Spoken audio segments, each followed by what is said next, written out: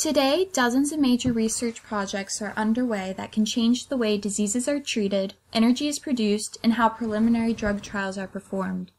These research projects are possible because of increased appreciation and application of volunteer computing among the scientific community since the late 90s, and how the technology has been continually improved ever since. The major benefits of volunteer computing compared to traditional researching methods includes educating the public about the project, increasing public support for a project, providing less expensive researching methods, and providing faster results.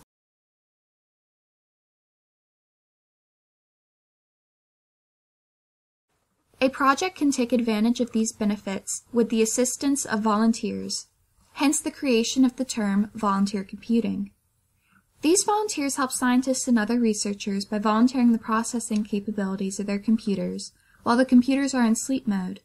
And by doing this, a volunteer is contributing to the scientific process which can result in the discovery of new cancer drug or more efficient solar cells.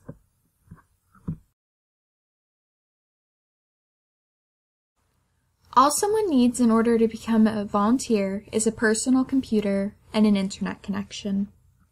Once they've signed up for one of the dozens of volunteer computing projects available, they will be connected to a network of other computers whose combined processing power has the capability of being greater than that of the world's largest supercomputer, at a fraction of the cost.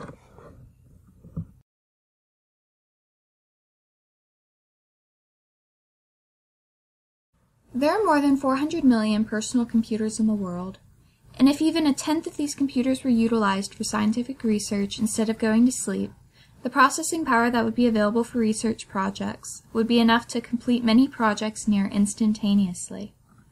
This global network would definitely change how research is performed in all parts of life, and will lead to a dramatic increase in innovation and discovery worldwide. Unfortunately, very few people are aware that volunteer computing exists, or how to get involved. If you want to participate, please click on one of the links below for a variety of different projects.